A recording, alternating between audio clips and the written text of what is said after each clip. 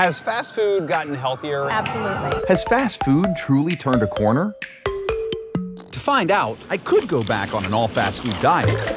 But something tells me this calls for a different approach.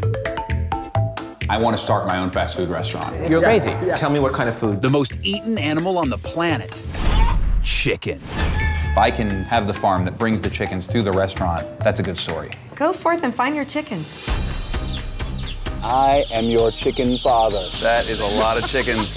My free range, cage free, no hormones added, humanely raised, natural chickens can get the The USDA's seal of approval. Sounds amazing. Until you start to realize how much of that is labeling. What's the smallest space we could give them that would still be quantified as free range? Free range. Welcome to your fluorescent lit restaurant. Everywhere you touch is just greasy and sticky. It's like somebody cleaning the grill with like cleaning solvent. Oh, research is what this is. Welcome to Chicken Corporate Training. Woo! They've been health washing the dirty, unhealthy truth. Fresh green herbs give a health halo. The term fried has evolved to crispy. Artificial grill marks. You can paint them on with dark food coloring. How healthy are our sandwiches? I think I think that answers my question. What if there was a company that was completely honest with their customers? Well, why would they do that?